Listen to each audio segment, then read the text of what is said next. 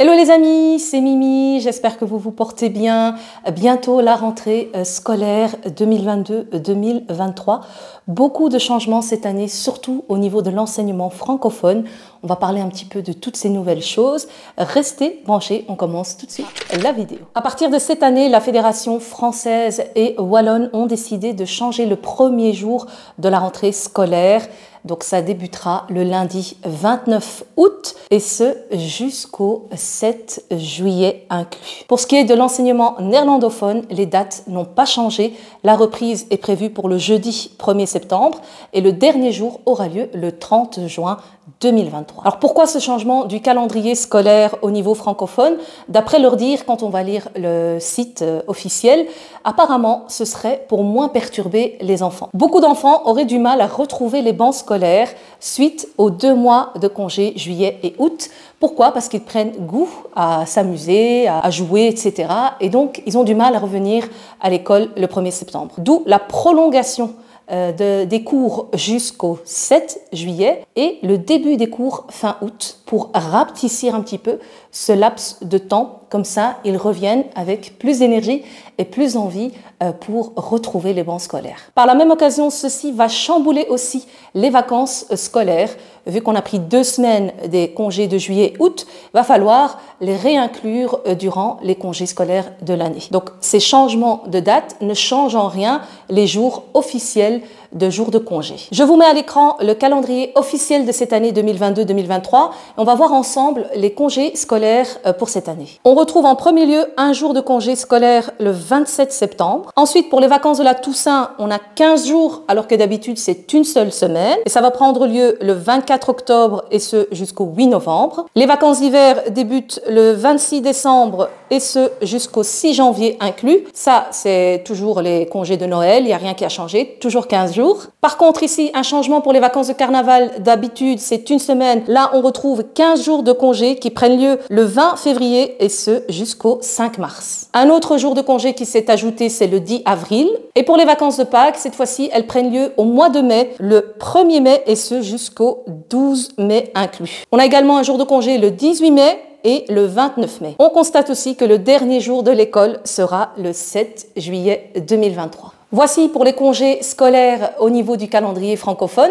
Par contre, les congés scolaires du calendrier néerlandophone sont complètement euh, différents euh, cette année. Ça va être difficile pour les parents qui ont des enfants qui vont et à l'enseignement francophone et à l'enseignement néerlandophone. Ils ne seront presque pas tout le temps euh, en vacances en même temps.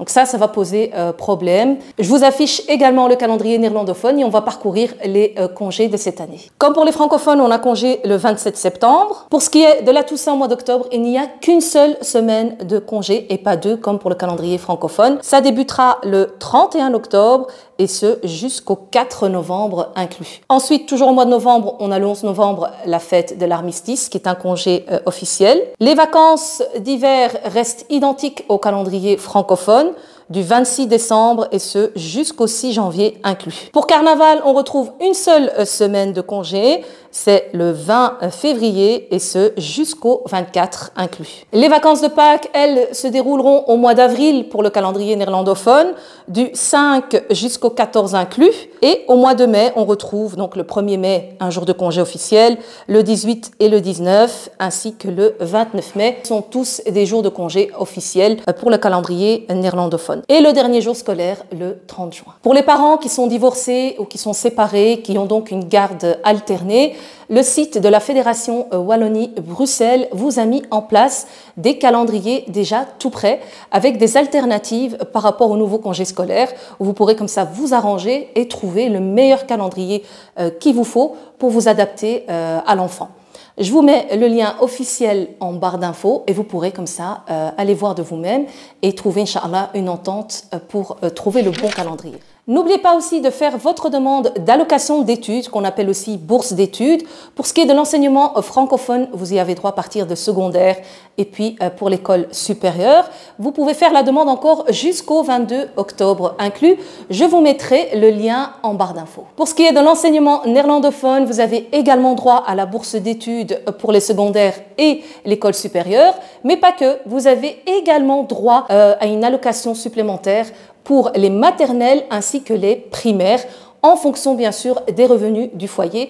Je vous mets le lien en barre d'infos et vous pourrez donc faire la demande. Si vous y avez droit, vous recevrez un virement sur votre compte et si euh, c'est pas le cas, ben, vous pouvez renouveler la demande l'année d'après. Vous avez certainement remarqué aussi une augmentation au niveau des allocations familiales euh, pour le mois d'août. C'est tout à fait normal. Il s'agit d'une allocation supplémentaire auquel vous avez droit pour préparer, on va dire, les frais euh, scolaires. Elle est donc inclue automatiquement euh, pour le mois d'août et passé septembre, vous allez retrouver vos allocations familiales de toute l'année. En plus de la rentrée scolaire, c'est également la rentrée des poufs. Faites donc très très attention c'est la période au retour de vacances. Nombreux sont souvent les enfants qui ont attrapé des poux. Première chose à faire de votre côté, n'attendez pas que l'école vous envoie un document pour vous le signaler. Vérifiez déjà les cheveux de vos enfants il vous suffit simplement d'utiliser un peigne très très fin et de passer plusieurs fois le coup de peigne dans les cheveux ou à la main. Hein. On, aime bien, souvent il y en a qui aiment bien euh, chipoter à la main au niveau des cheveux. Moi personnellement j'aimais bien même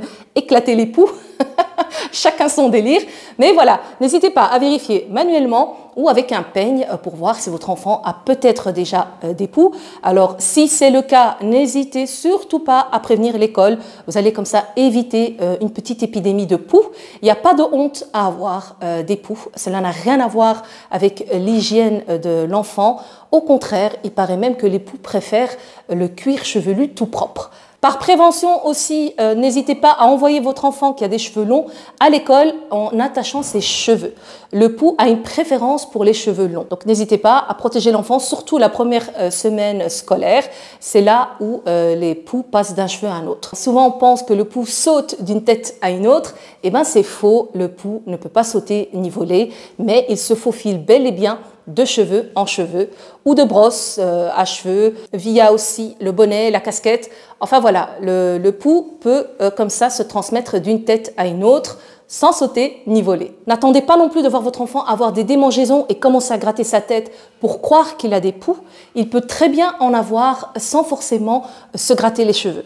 Donc n'hésitez pas à bien vérifier euh, sa tête, quitte à faire un test en mettant simplement de l'eau et du vinaigre dans les cheveux et ensuite de passer le peigne. Le pouls ne supporte pas l'odeur du vinaigre et vous pourrez comme ça l'attraper euh, dans le peigne si jamais il y en aurait. Ce que j'ai appris aussi, c'est que les poux peuvent s'attraper simplement à la piscine. Je ne le savais pas. En faisant mes recherches pour la vidéo d'aujourd'hui, j'ai trouvé un article qui dit que le pouls euh, flotter à l'eau et rester comme ça en vie.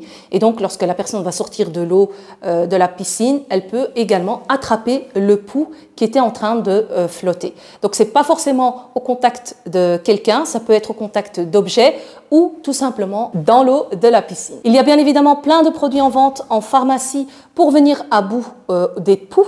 Personnellement, j'avais acheté une fois un peigne métallique et franchement, il était très très efficace. Quand vous allez le mettre euh, dans la tête de votre enfant, il va créer comme ça, comme de l'électricité et les poux vont s'accrocher aux petites barrettes de fer et comme ça, vous pouvez éliminer euh, plus rapidement euh, les poux. Il y a des shampoings anti-poux, il y a plein de produits. Il y a aussi des recettes de grand-mère. Je ne les connais pas toutes. D'ailleurs, si vous en avez quelques-unes, n'hésitez pas à les mettre en barre d'infos. Voilà les amis, c'est ici que s'achève la vidéo d'aujourd'hui. D'ores et déjà, je vous souhaite à tous et à toutes une belle rentrée, une belle année scolaire pour les enfants et je leur souhaite d'ores et déjà une belle réussite. Prenez soin de vous, que la paix soit sur vous et à très bientôt pour de prochaines vidéos. Ciao ciao